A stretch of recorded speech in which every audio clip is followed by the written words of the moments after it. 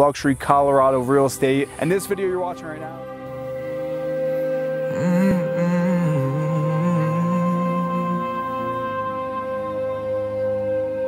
I remember years ago, someone told me I should take caution when it comes to love. I did.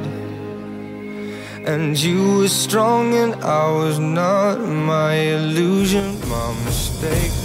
So starting off in Vail, we filmed 463 Beaver Dam Road for $18.9 million, which was a contemporary modern smart home with some of the most top-of-line features. Next up, we filmed 1000 Spraddle Creek Road, which is a $40 million mountain modern mega mansion perched hillside $0.75 million, which is a French-inspired ski-in, ski-out mansion. But bits away from the Vail Gondola. This is essentially equivalent to being oceanfront in Miami or in Malibu. This is as good as it gets. This is prime real estate. And the fact that one, there's a scarcity of land. Two, it's immobile. You can't move this land. That's what really drives up these prices. And that's what makes Vail have some of the most expensive real estate in all of America.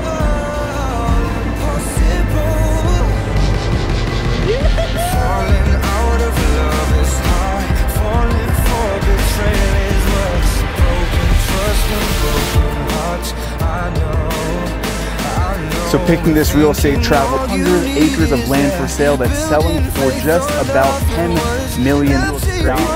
But look at this. Now when you're every single window in this house has the peak framed in it.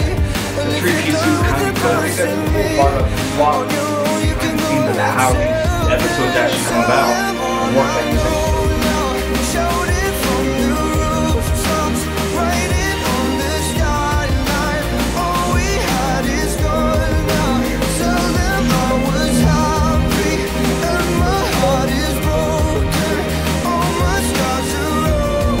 just went down. The mountains are turning this nice pinkish purplish color. We're getting into that cobalt blue hour. I might turn this into a thing. I might place. It's about the location where you are. You know, the homes are beautiful. It's also about the place where you're at. And right now, Telluride, Colorado is uh, it's definitely something special.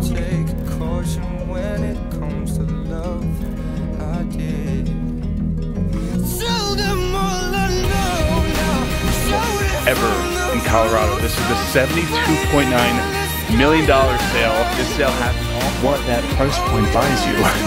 And that feeling is, it's pretty, all that honey onyx. So it's three hours after that last property tour, after the $72.5 million one. And this is a $37 million home built into the side of this mountain. It's been perfectly built so that you can't really even tell that there's a 12,000 square foot home built here. But just look at the landscaping, all these water features. Here's a close look inside the house. Down the staircase, this is the fun stuff. This is the entertainment floor. This is like the little media room. This is the arcade.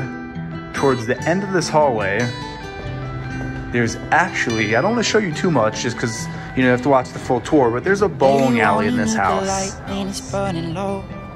This right here is the- I want to thank you for watching. If you want to see more behind the scenes of these property tour trips, comment down below. I hope everyone's well watching this. And with that, I will see you in the next episode.